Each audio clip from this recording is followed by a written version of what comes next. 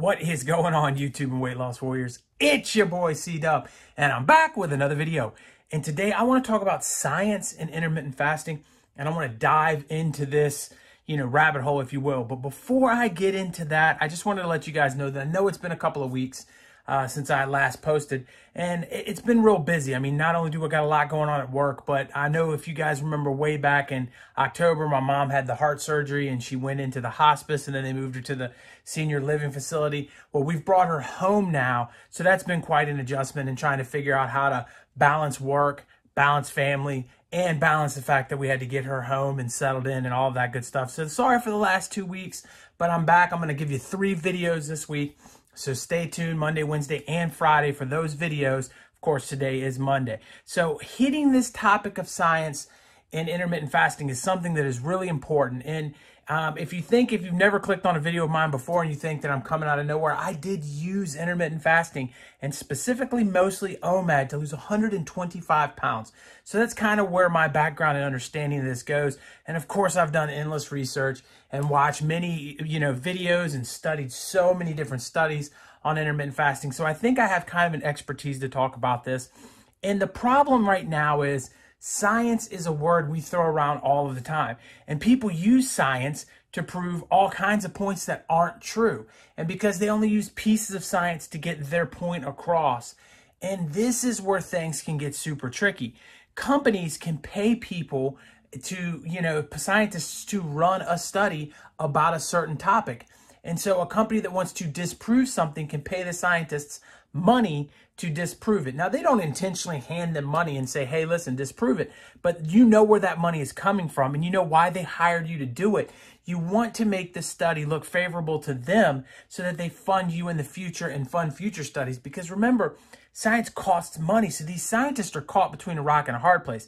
They can't be exactly 100% truthful all of the time in every single thing they say because then they can't get the funding that they want. And they're looking at trying to look at a different picture or a bigger picture and it doesn't come across the way that we need it to to really truly understand it. So there's science on both sides of intermittent fasting.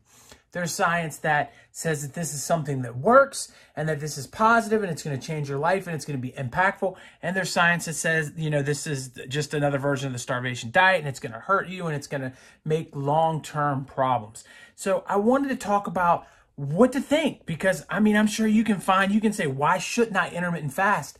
Right now on YouTube, and I'm sure you'd get a laundry list of videos that have important points, and some of them may even have studies backing up the information they're giving you.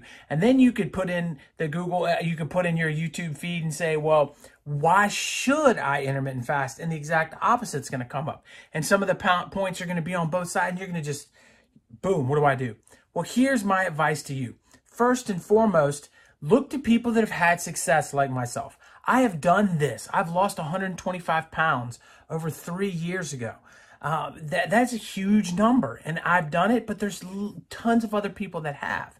Then the second thing I would look at is say, is does that mean that there's science behind it? No, that doesn't mean there's science behind it. Might have worked well for me, might not work well for you. But go give it a shot. Give it your best effort. Do it the right way. Make sure you're hitting all the little teeny points that you hear in these videos and, and videos that are like mine and at the end of the day, start looking at your results. If the scale is moving down, then it is working for you. And it doesn't matter if some scientist says that it won't, because it is working. And if the scale isn't working for you, it might be time for you to switch to a different fasting protocol or switch to a different diet that is going to work. Because this is not a one size fits all journey. And that is the problem with weight loss to begin with. Each one of us have gained weight for different reasons. There's hormonal reasons, there's emotional reasons, there's genetic reasons. And so not everybody is going to fit into the exact same box. Just because OMAD works for me and is relatively easy for me to get through my day eating one meal a day, which I've done for over three years, just because it's easy for me does not mean that it's easy for you. And I think that that is something that we have to come to the realization of. And we have to understand that each one of our journeys is just a slight bit different and we have different things in front of us. So we're going to have to react differently. So don't worry so much about what scientific study is backing it up, or don't worry so much about whether, you know, you need this diet to, to match with it or that diet will improve your, your, your odds or whatever the case is. And just start getting into a situation where you take a break from eating. And I think you're going to find there's all kinds of benefits from taking a break from eating that you're not even thinking about that are even more than weight loss. And at the end of the day, I think it's the way to go. So I am glad to be back on this channel. I can't wait to hear your comments down below about this subject. And I hope you guys are happy to have me having a couple more videos. I'm going to be hitting them up this week. I promise I got some good stuff coming.